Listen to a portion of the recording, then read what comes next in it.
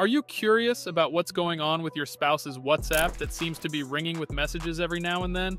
Or are you looking for a way to monitor your child's contacts? You trust them with technology, but not the creeps out there who pretend to be their friend.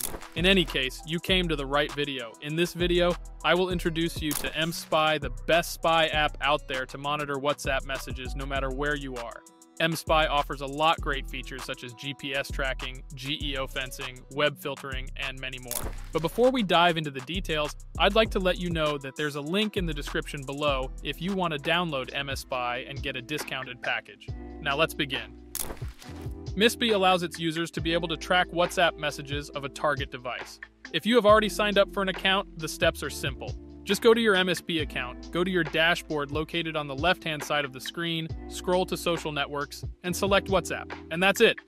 Doing those steps will allow you to see every message, calls, and contacts of the target device. MSPI doesn't filter anything out, so you have everything you need to know in that account. But if you're still starting out with MSPy, here's a step by step guide to making an account and unlocking other important features MSPy has for you. Creating an account is required before you can start monitoring WhatsApp on your target devices head to www.msp.com and select a plan that you want.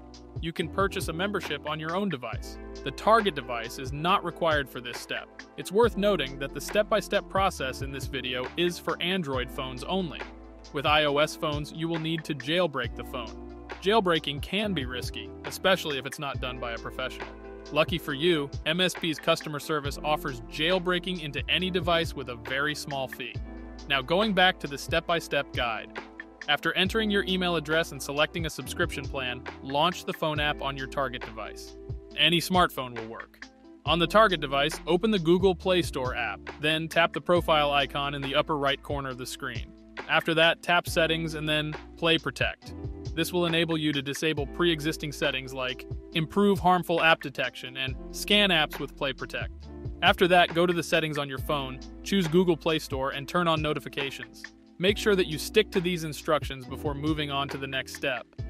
If you don't want the owner of the device to know that you're monitoring their smartphone, you need to follow the aforementioned steps. It's also worth noting that MSPy isn't available in both Google Play Store and Apple App Store because it's a spying device.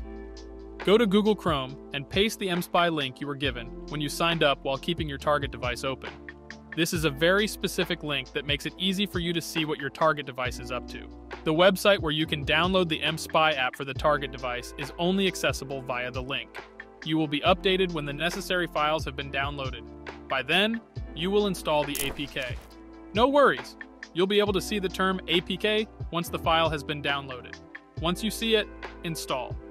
Up next, you will be asked to submit the authentication code that was sent to your email address.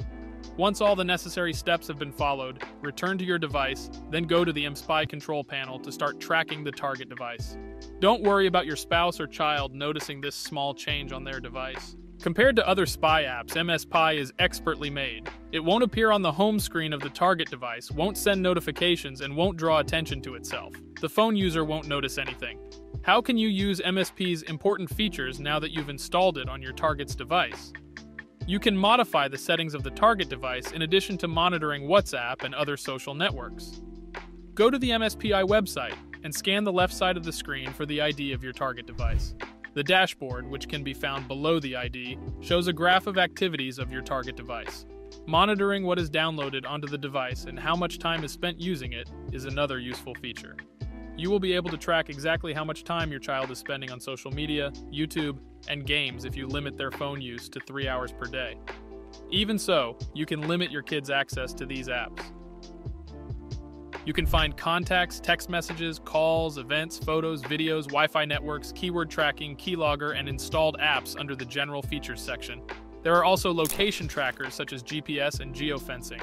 These location trackers come in handy if you want to keep track of a family member's location. You even have the option to be alerted whenever they're crossing outside of a specific area. This is called GEO fencing. It's great for parents who are wary of their children's safety. The general features of MSPI is straightforward. To view them, just click the corresponding buttons for contacts, incoming and outgoing calls, and text messages. You will see 100% of what the user sees. Unlike other apps that only notify you of messages with potentially harmful content, MSPI does not filter anything a very valuable feature of MSB. Now let's talk about the cost. The pricing plan for MSB is simple and convenient in my opinion. The price of a monthly plan is $48.99. The price for a 3-month plan is $28. Additionally, a 12-month plan can cost as little as $11.67. Can you think of anything less expensive? I would select the 12-month trial if I were using MSPI for the first time. With all the features included, it works out to less than a dollar per month, and nothing could possibly go wrong. One of MSPI's standout features is its broad compatibility with various social media apps that can be monitored.